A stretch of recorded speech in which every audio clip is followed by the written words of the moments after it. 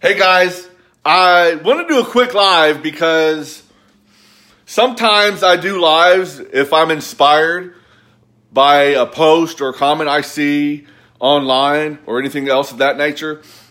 And this is no exception. And call it what you will. I'm not going to mention anybody's names or the circumstances. But here, here's the problem that I see a lot especially online in the in the online business world. Whether you're uh, in a business opportunity, MLM, internet marketing, if if you own your own business, whatever it is. And I got this quote from Larry Winget.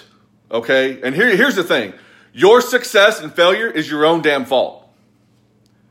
I don't care if you're 18, 22, 52, 40, 60, 70, or 80. Your success and your failure is your own damn fault. Quit blaming the market. Quit blaming your business partner. Quit blaming your customers or lack of. Quit blaming the market. Quit blaming, quit blaming the company or the product or the service. Quit blaming that guru. Because guess what? As a user, as a customer, you do have to accept your own accountability. Quit putting it off. Oh, well, that product didn't work. Oh my gosh.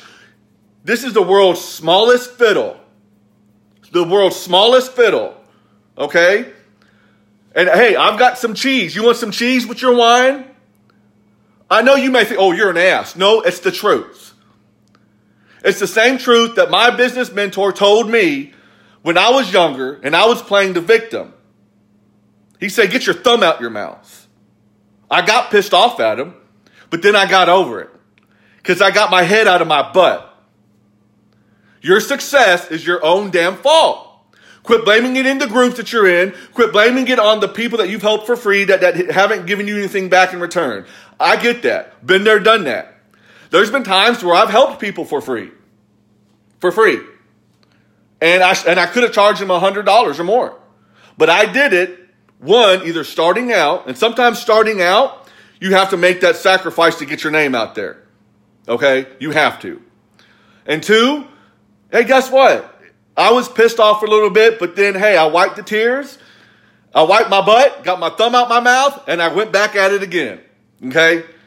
So quit, quit blaming the market, the saturation, quit blaming anything outside of you for why you're not failing. Quit blaming or even why you are failing. Your success is your own fault. Think about that for a moment. Your success is your own damn fault. So is your failure. So again, I'm telling you, the reason why you're not successful is because you're too busy whining and complaining about why you're helping people or why this and that, when at the end of the day, guess what? You are the person staring yourself at the mirror. Not your business partners, not your product, not the company owner, not anybody else.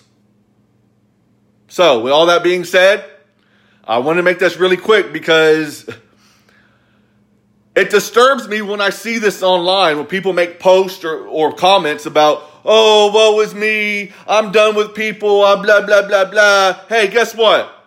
Suck it up, Buttercup, or get the F out. Seriously. So, with all that being said, take this with a grain of salt. And if you unfriend me, good. See you. Bye. Peace out. Have a great day. Talk to y'all later. Peace out.